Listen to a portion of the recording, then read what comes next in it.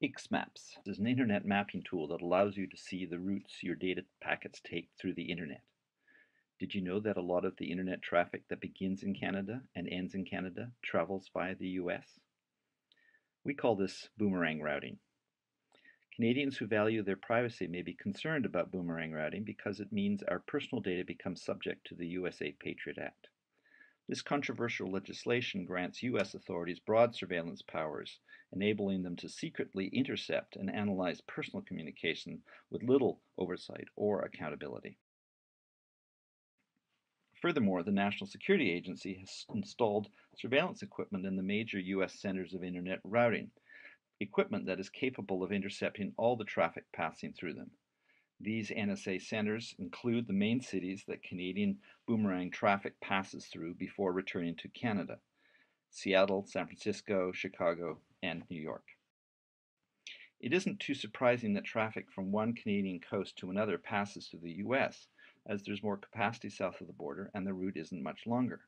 What is more startling is that data packets that start and end their travel in the same city can often take the same boomerang route.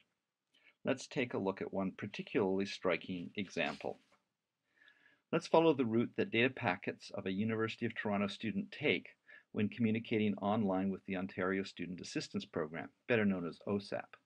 The OSAP offices are part of the provincial government complex only a very short distance from campus. Any data the student provides to OSAP is first handled by the University of Toronto network, which transfers it to its principal internet service provider, the large U.S. carrier Cogent Communications. Cogent sends the data to its New York City switching center, where there is a good reason to believe it can be intercepted by the NSA without a warrant.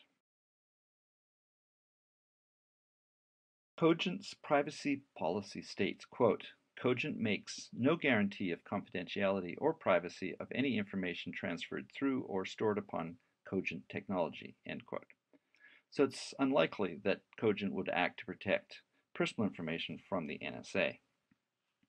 From New York, the student's data is forwarded to Chicago, another city where the NSA is strongly suspected of setting up a warrantless wiretapping operation. In Chicago, Cogent connects with TELUS, the internet service provider for the Ontario government. TELUS carries the data back to Toronto for delivery to OSAP's computers. This entire trip only takes a fraction of a second, but is unnecessarily inefficient and exposes Canadians' data to U.S. spying. It's hard to determine why data is routed in such a roundabout way. Commercial carriers, such as TELUS and Cogent, unfortunately treat their inter-network data exchanges as confidential business matters, which they don't make public. We do know that this pattern is not an isolated event.